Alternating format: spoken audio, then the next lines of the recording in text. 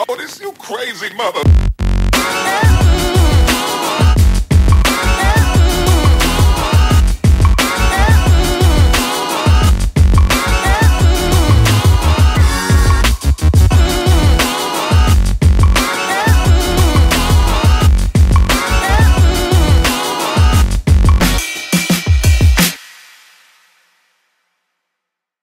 Sziasztok! Üdv újra itt a YouTube csatornámon. A mai videó ismét leginkább a Michelin's mezekről fog szólni, mint ahogy látjátok a hátam mögött felpakolt mai kínálatot, illetve arról, hogy mi ezeknek a Michelin's mezeknek az előnye, illetve hogy miért éri meg Michelin's mezeket beszereznetek, és adok is egy kis segítséget a végén ahhoz, hogy mire figyeljetek, hogy ki tudjátok szűrni a hamisítvány Michelin's mezeket, úgyhogy kezdjünk is bele. Következő a helyzet. Található már a csatornámon egy videó Michelin's mezekről, ami egy ilyen egyfajta bevezetés volt ebbe a brandbe, és igazából a brandről szól, meg a brand történelméről, és összehasonlítottam benne egy autentik és egy swingman verziót.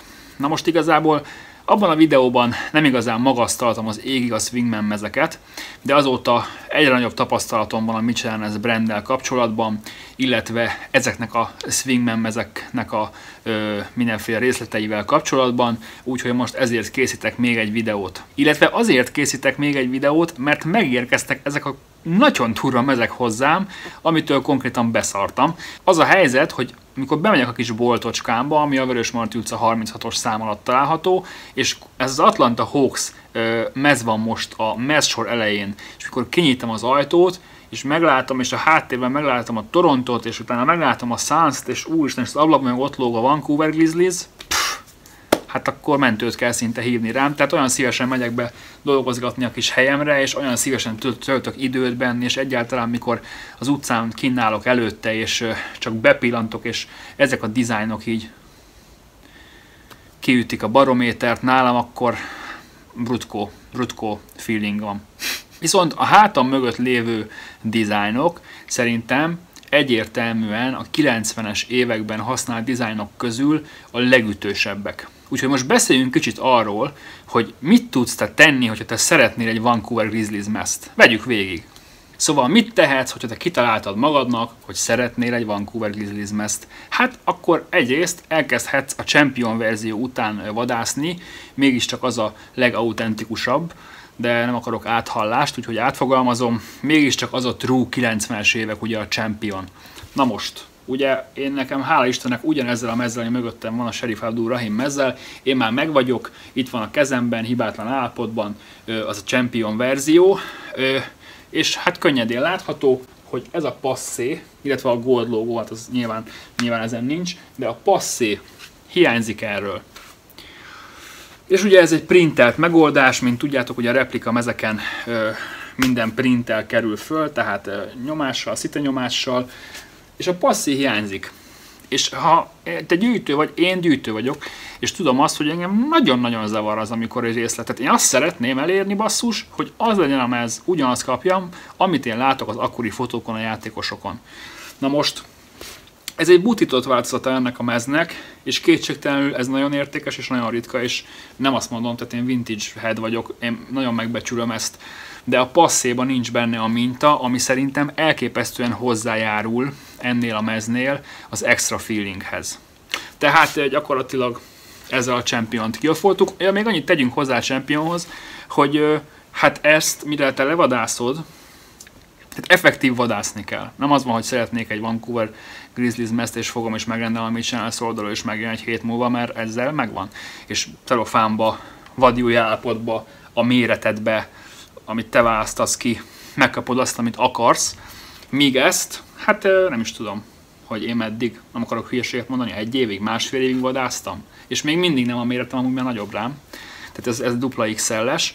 Szóval nagyon drága, a, a, a Champion verzió is nagyon, nagyon idő, időigényes, tehát hogyha te nem vagy egy ilyen vadászós típus, te nem élvezed ennek a mezgyűjtésnek a, ezt a vadászat meg kutatás részét, akkor mit se lennesz?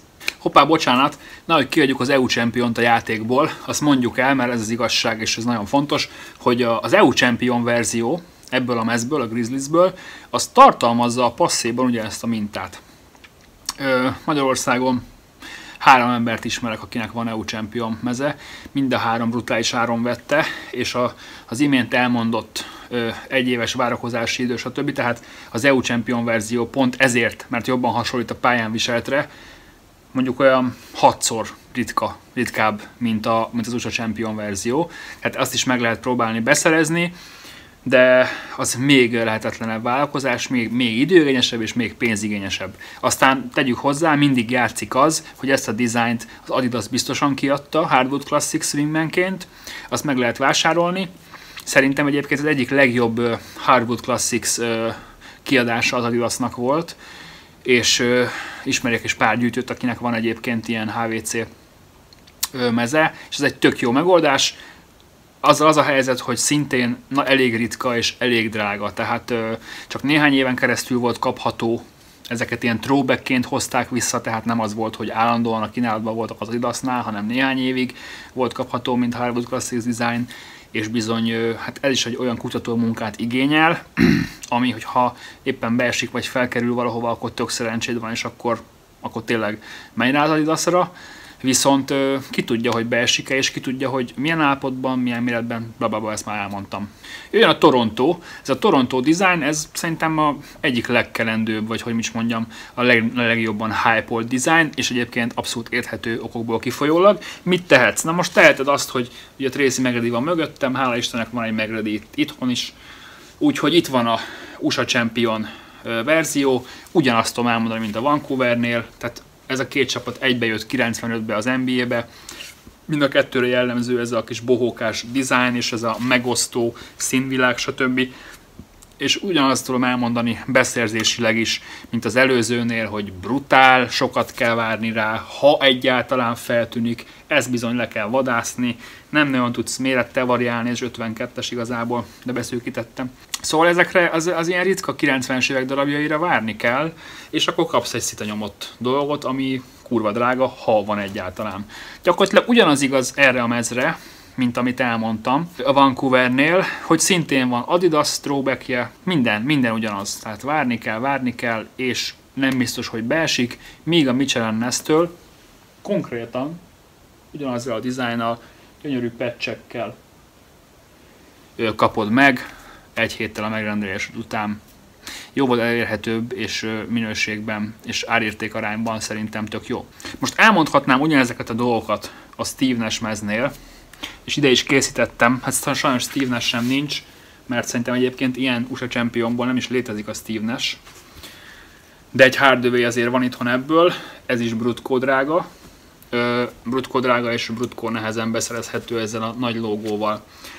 Mm, ugyanezeket a dolgokat tudnám elmondani, mint amit a Vancouvernél és a Torontónál is mondtam, vagy rámész a Championra, és akkor addig vadászol, míg be nem akad, vagy megpróbálsz elkapni ebből is egy Adidas Hardwood Classics verziót, ami szintén vagy beakad, vagy nem.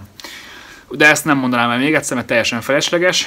Viszont gyerekek, és itt érkezünk el a videónak a lényegéhez, és, és gyakorlatilag a, a fő üzenethez. Ez a mez, ez beszarás.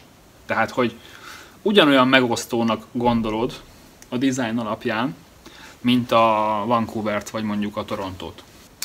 Aztán, amikor fölveszed, akkor rájössz, hogy ez 8-szor könnyebben hordható, ugyanis az alapszín a fekete és a piros, ami egy jóval könnyebben ö, beilleszthető színkombó ilyen, ö, déli outfitekbe, tehát ilyen hétköznapi outfitekbe ezt sokkal jobban be lehet illeszteni, viszont a design az akkorát üt, hogy az valami elképesztő. Ez hogy tudod beszerezni?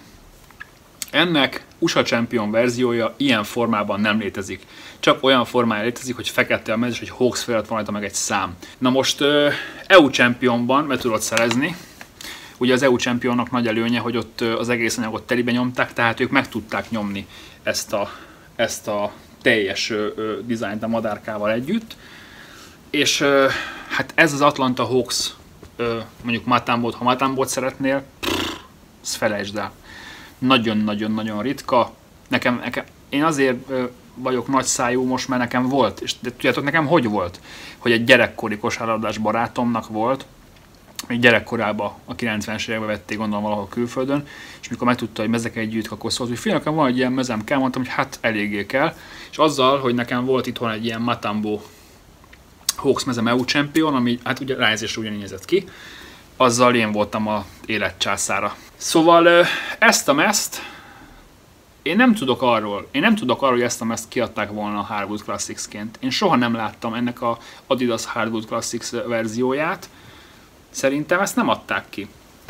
Kamu verziót már láttam Adidasból, az már csoportunkban is volt. Eredeti Hardwood Classics-ot még nem láttam, tehát ha te szeretnél egy ilyen mezt, ami basszus, minimum top 5 design ever, nálam legalábbis biztos.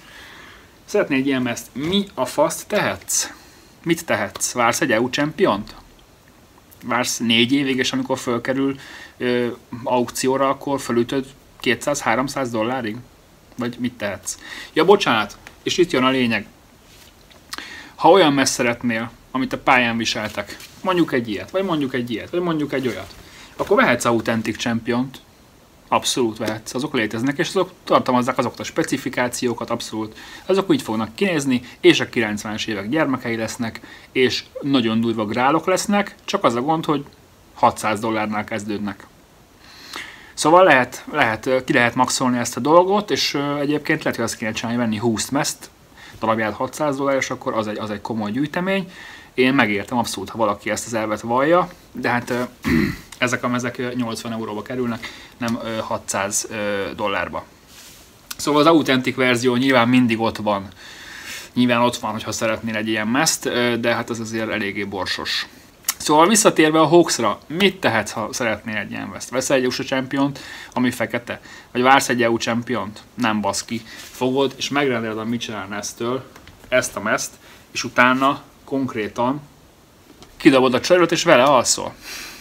Brutál, brutál durva, brutál durva, és akkor itt jön a reklám helye, hagy ragadjam meg az alkalmat, hogy elmondjam, hogy a kis személyes webshopomban, a throwusback.com-on ezek a dizájnok, azért is vannak most itt fizikai valójukban, ezek megvásárolhatóak, nagyon korlátozott a készlet, és itt megragadnám az alkalmat egyből a magyarázatra, a bizonyítványom megmagyarázására, hogy ez a videó nem promó videónak készült, illetve nem azért készült, hogy promózza az ilyen eladásaimat.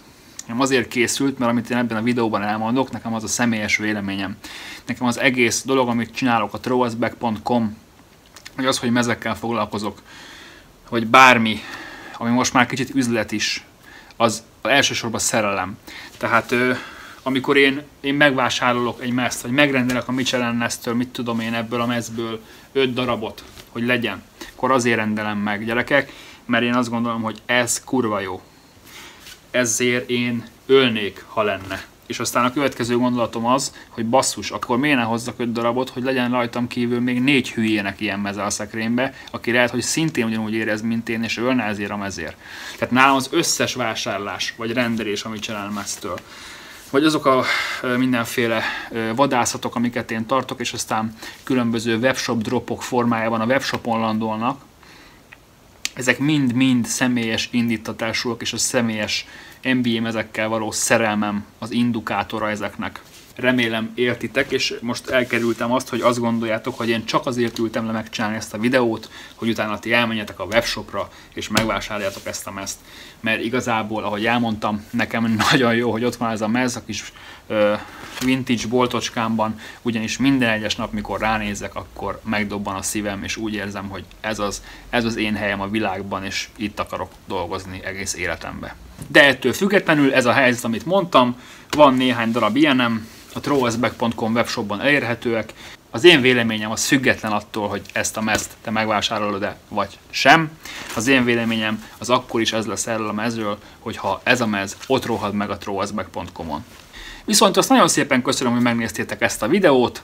Ha tetszett, akkor lájkoljátok, osszátok meg, kérdezzetek, stb.